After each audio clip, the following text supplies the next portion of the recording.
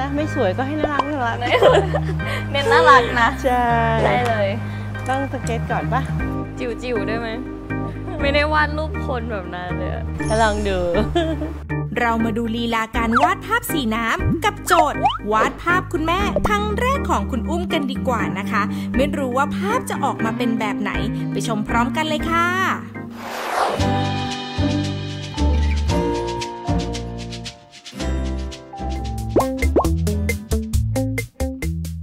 ใจเลยอะเอาจริง เหมือนกับคือไม่ค่อยได้วาดใช่ไหมช่วงเนี้ยคืออุ้มอะวาดวาดกับคอมซะส่วนใหญ่ เพราะว่าเหมือนกับมันผ่านพ้นช่วงที่วาดมือมาแล้วอะไรเงี้ยส่วนใหญ่ก็เลยแบบใช้วาดในในคอมใช้เมาส์ปากกาอะไรเงี้ยค่ะพอแบบได้มาแตะผู้กันอีกครั้งก็มีความตื่นเต้นอยู่เหมือนกัน เรายิ่งเราแบบวาดรูปแม่ด้วยอะคือไม่ได้วาดรูปแม่นานมากคือ ตอนนั้นจำได้ว่าเด็กๆเราอะวาดวาดรูปคุณแม่ แต่ว่าพอโตมาอะไรเงี้ยพอเริ่มแบบเรียนจริงจังเราก็ไม่ได้วาดอีกเลยก็วันนี้เนี่ยลองวาดดู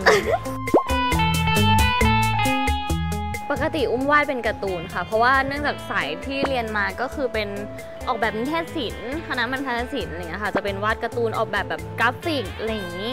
เฮ้ยหนูว่าหน้าแม่ดูเด็กมากเลยหนูวาดแม่ให้ดูเด็กเต็มที่มากๆได้เลยไซส์บังคับ ใช่ไปบังคับมากๆตื่นเต้นสามสิบโอ้โหน้อยมาก น้อยมากเลยเออทำสิไม่น้อยจังอะ แต่ว่าบอกเลยว่าหนูพยายามอย่างสุดฝีมือการ์ตูนน่ารักน่ารักนี่ต้องระบายสีด้วยใช่ปะใช่ค่ะไหนดูสิไม่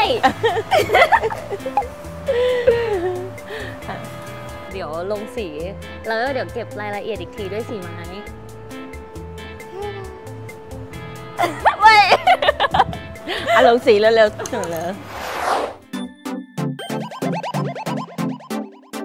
อุ้มมีความตั้งใจ และพยายามจะวาดรูปคุณแม่ให้ออกมาสวยน่ารัก ในแนวถนัดของคุณอุ้มนะคะ ซึ่งบอกเลยว่านี่เป็นครั้งแรกที่วาดรูปคน เพราะปกติแล้วจะวาดแต่รูปสัตว์ต่างๆ และยิ่งได้มาจากผู้การระบายสีอีกด้วย ขอบอกเลยว่าเป็นภารกิจที่ท้าทายมากๆเลยนะคะสำหรับคุณอุ้ม มาดูกันค่ะว่าหลังจากระบายสีแล้ว ภาพวาดนี้จะถูกใจคุณแม่หรือไม่ไปชมพร้อมกันเลยค่ะ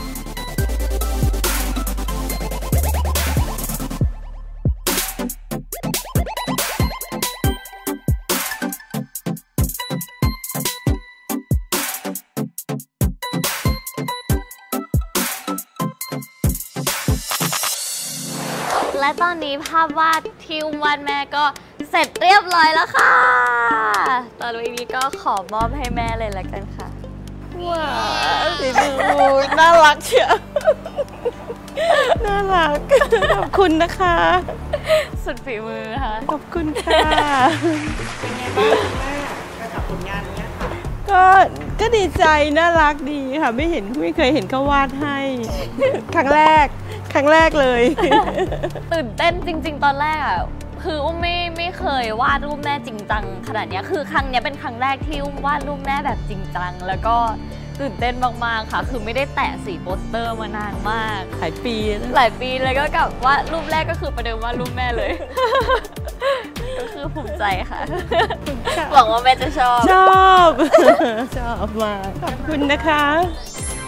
และนี่ก็เป็นอีกหนึ่งภารกิจทดสอบ ที่คุณแม่อยากให้ลูกสาวสุดที่เลิฟคนนี้ทำให้ ช่างเป็นทริปที่สร้างความทรงจำและความประทับใจให้กับครอบครัวของคุณอุ้มและคุณแม่เป็นอย่างยิ่งเลยนะคะ